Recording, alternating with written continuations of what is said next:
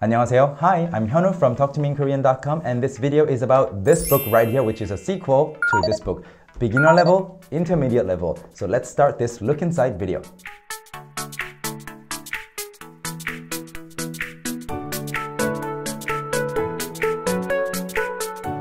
Hello once again, I'm Hyunwoo from Talk to Me in Korean. We published this book earlier this year, Real Life Korean Conversations for Beginners, and this is great for beginner learners who want to practice speaking through a very useful book that has lots of real life conversations that are very, very natural. And the conversations in this book for beginner learners are very short. So we have two, two sets of the same kind of situation a longer one and a shorter one.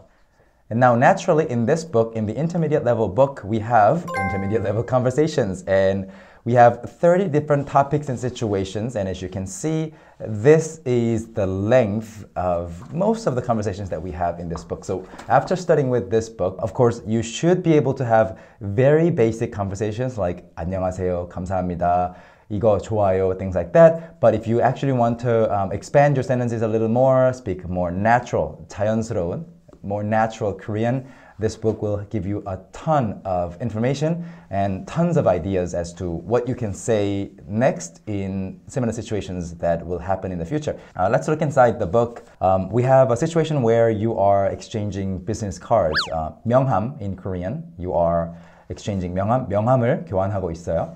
And then you have this conversation. You follow everything line by line with, along with the uh, English translation here on the right-hand page and then you read everything. Of course, you can already learn a lot from this. For example, we have um, included some real life day to day words like 취준생, 취업 준비생. Um, a lot of people say this, but this might not be in your dictionary. So, yeah, uh, we've added lots of um, realistic words uh, here. And after the conversation is over, you have a list of the key vocabulary words that were used in the dialogue so that you can save some time on looking for the words in the dictionary. And also, like I said, words like seng will probably not be in most of the dictionaries that you use. Anyway, after that, you can see pattern practice. I really love this feature about this book. Uh, we have uh, selected three patterns out of each dialogue. And for example, among the sentences that were used in this dialogue is verb plus 은적 있으세요? Have you ever done something before? So sample sentence used in the dialogue was 지연 씨는 전에 이 모임 참석한 적 있으세요? 지연, have you attended this meetup before? And then, of course, memorizing this line is good, very good. Can you see my thumb, thumbs up? Yeah, very good. But then, um, if you just memorize this line, how can you use it? How can you apply it to whatever you want to say in the future in the specific situation? So we have other sample sentences like, have you come here before? Have you been here before? And we have exercises. And of course, so and so 은적 있으세요 is not the only way to say, have you ever done something before? There are applied patterns. And um, if you love learning languages and if you've just I guess, uh, gotten used to the fact that you have to um, learn various types of sentence endings and various patterns to actually make your um, Korean or English or whatever language you're learning more flexible, you will love this feature. So applied patterns means, so this one is the main key sample um, sentence structure that we introduced in this dialogue, but there are variations that can mean the same thing. So instead of asking 본적 있으세요? You can also ask 본적 있어요?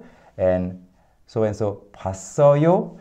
Um, yeah, there are of course more, but we are introducing uh, up to two applied patterns for each pattern. There's another pattern that was used in the dialogue and applied patterns for that one, and another pattern used in the dialogue and sample sentences and exercises, as well as applied patterns for that one. So even after studying with the first dialogue, that's a ton of very useful, valuable information that you can actually use in your next conversation in a similar setting. And we have all these great conversations uh, as well. So you can download all the audio files for each of the lines here, as well as the vocabulary words and the patterns and also the sample sentences using the patterns um, on our website for free. So go to talktomeinkorean.com slash audio and you can download the audio tracks for this book.